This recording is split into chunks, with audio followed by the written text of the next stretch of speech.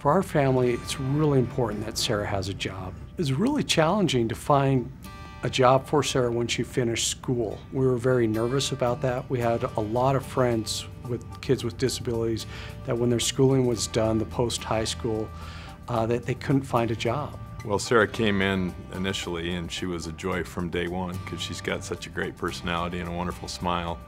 But she's really mastered the bronze sheet machine, which is usually one of the ones that most people don't like to go on. And she does an amazing job and her production is one of the highest in the plants.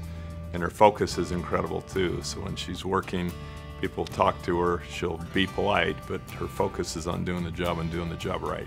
Her work ethic, being here on time every day, being an outstanding example to everyone around her.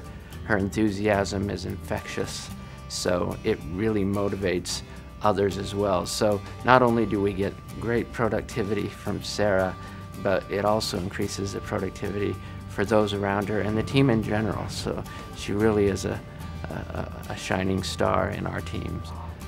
Sarah enjoys so much about working at the laundry. She loves being able to have the job, interact with the people, and just kind of the value that she's earning money and doing well.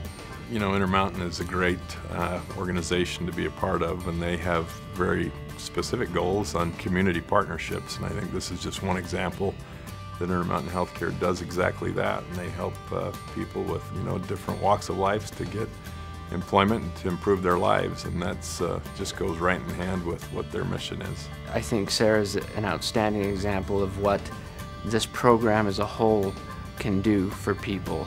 IHC provides these great jobs and we're able as Columbus to support them in these jobs. I love coming to work and making other people happy and people say I do a great job and they love having me here.